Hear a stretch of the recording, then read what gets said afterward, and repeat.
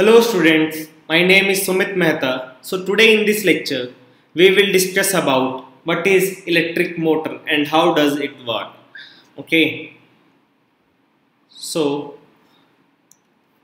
an electric motor is students, an electric motor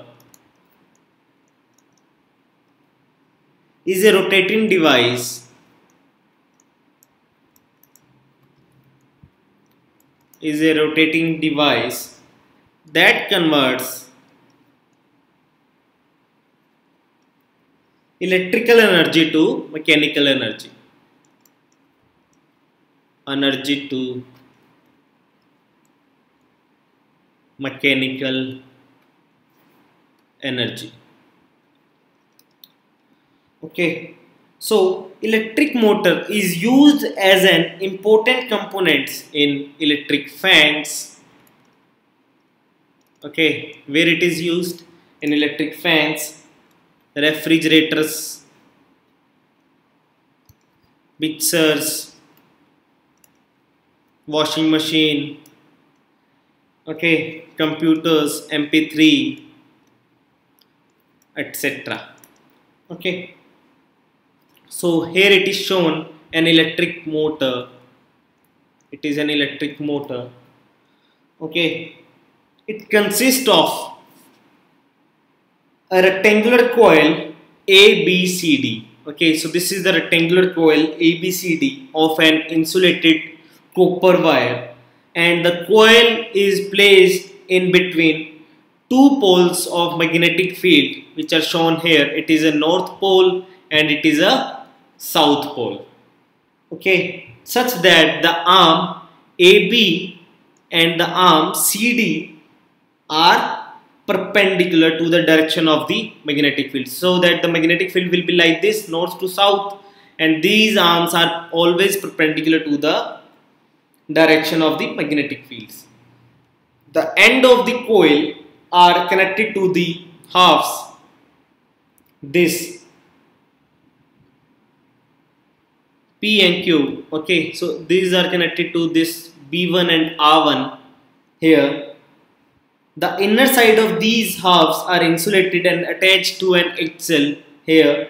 The external conducting edges uh, touch two conducting stationary points which are R2 and B2. So these are two stationary points. So whenever there is a current in the coil enters in when current in the coil enters a B C D means through this direction okay? From the source battery from the battery.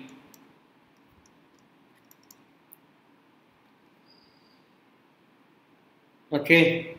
And flows back to the battery through wire and flows back to battery. Notice that the current in the arm AB is in this direction AB of the coil flows from A to B and in the arm CD it is flown from C to D. That is opposite to the direction of the current arm A and B. On applying the Fleming's left hand rule for the direction of the force. So let's say the current is in this direction. Okay. Uh, current is in this direction magnetic field is in this direction magnetic field. So the force will be perpendicular to both these. So you can apply the Fleming's left hand rule here. Fleming's left hand rule. So what we will get is that the direction of the force on a current carrying conductor in a magnetic field that the force acting on the arm pushes it downwards. So the force will act in the downward direction on arm AB and while on the CD the force acting in the upward direction. Okay. So a device that reverses the direction of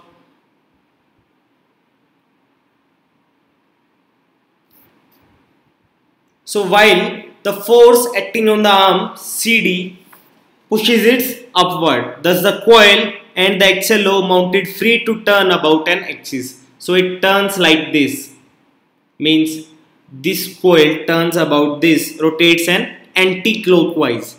And at half rotation Q makes this R1 makes contact with the brush and this B1 with brush Y. Okay so this makes contact with this ones. So it stops there. Therefore the current in the coil gets reversed. Then the current gets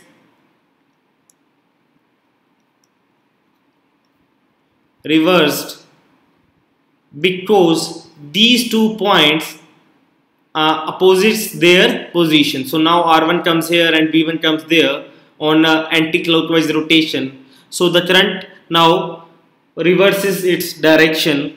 Okay, and a device that reverses the direction of the current flow in a circuit, it is called as commutator.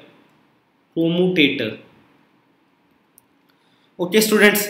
So this is how the current always reverses its direction one by one okay and the reversal of the current also reverses the direction of the force on the two arms AB and CD thus the arm AB of the coil that was earlier pushed down it is now pushed upwards and CD will now pushed downwards. So therefore the coil and the axle again rotate half a turn more in the same direction thus reverses of the current again continues. Okay students? So this process goes on repeating uh, itself okay so this is how the electric motor works. So now I hope that you are pretty clear about how electric motor works student. And uh, this is very important question. From exam point of view also state the working of electric motor. So now I hope that you can write that how it works and what is the diagram of it. And in the ne next lecture student, we will discuss about electromagnetic inductions. So stay tuned for the next lecture and happy learning students. Thank you.